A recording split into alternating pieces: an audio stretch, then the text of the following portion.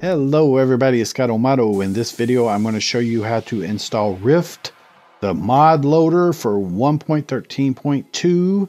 And in addition to that, now we can have Voxel Map, the mini map for 1.13.2, and install Optifine in an easier way than we could before uh, the uh, update of Rift. Okay, so guys, let me show you how to do that. Um, I'm going to send you to a link here at GitHub where a user named Chocohead has um, updated it. He's forked it, okay?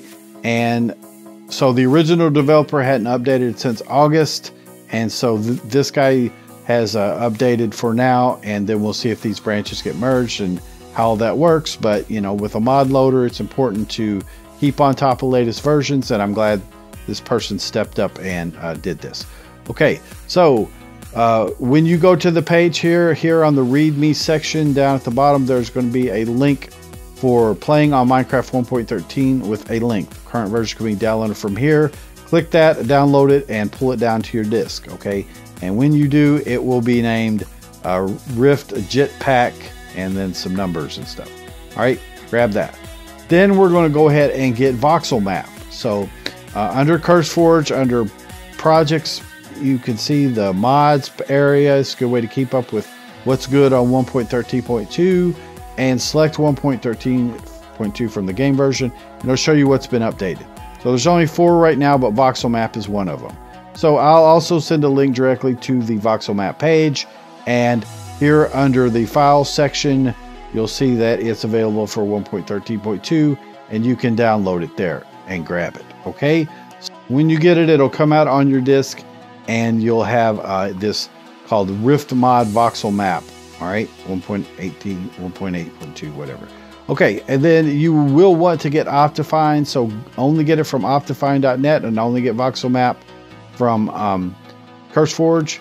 And go ahead and get the Optifine HD Ultra release here. You can download it. You wanted to go under preview versions, there's a drop down there and you could get preview versions as well. They're easier to try out now since you don't have to change any text files. Okay, then the last thing we are going to need is a text file uh, that we will edit and I will leave a link to that in the instructions and I want to credit where I got this. I got it from uh, from the Discord for Multi-MC from a guy named Cannon Fodder here. Okay, so credit to him for helping us do that. But I've got it at a space where you can get it. And the easiest way to do it is just hit raw and then select all and copy. Okay, you're going to need this text. But we'll probably have to recopy it again because we got to move some stuff.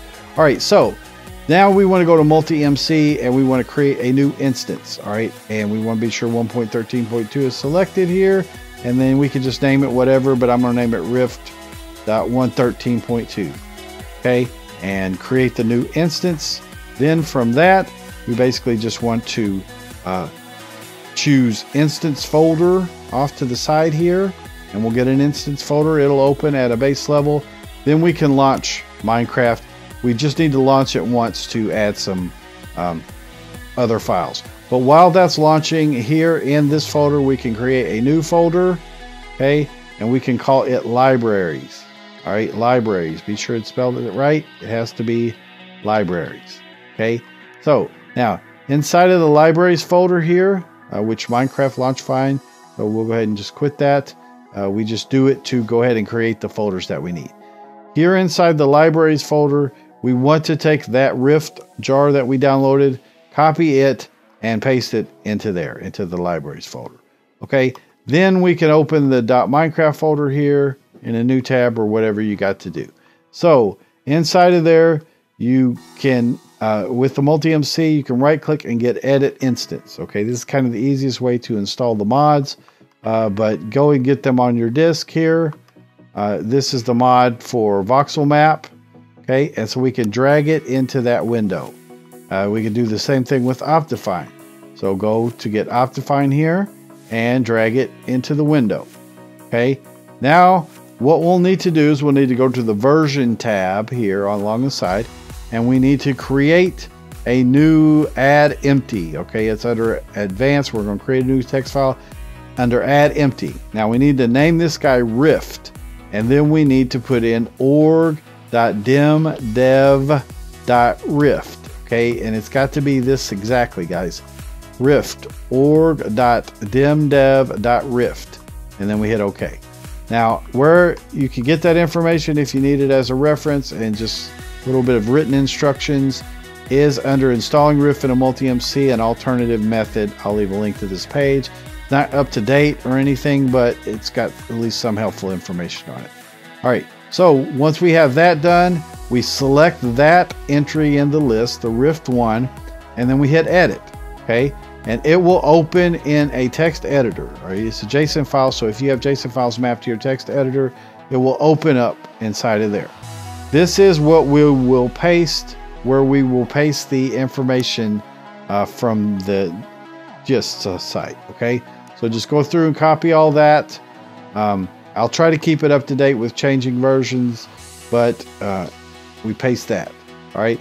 If there is changes, you would just need to change like the version number here, uh, you know, stuff like that. Would the name of the file that you're linking to here? This is the stuff that you would need to change if you do need to change it.